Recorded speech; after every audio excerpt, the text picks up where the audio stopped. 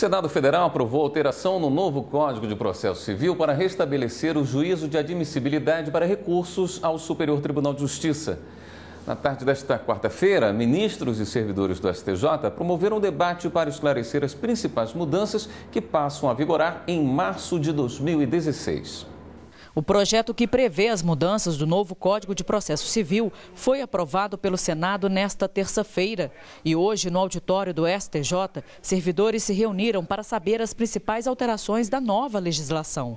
Ele é um código que, de um lado, prestigia demais a, a, a jurisdição, ele valoriza a jurisdição, valoriza os precedentes, ele qualifica as decisões judiciais. Tanto ele, ele dá à jurisdição um papel que ela merece, que ela tem realmente.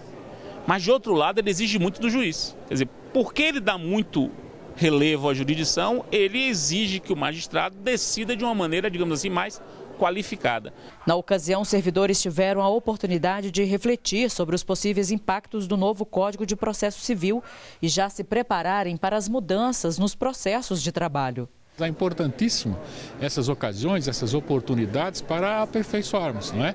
O novo código está aí, em março passa a ter vigência. Então é importantíssimo ocasiões e oportunidades como essa. Para o ministro Moura Ribeiro, a principal mudança foi restabelecer juízo de admissibilidade para recursos ao STJ e ao Supremo Tribunal Federal.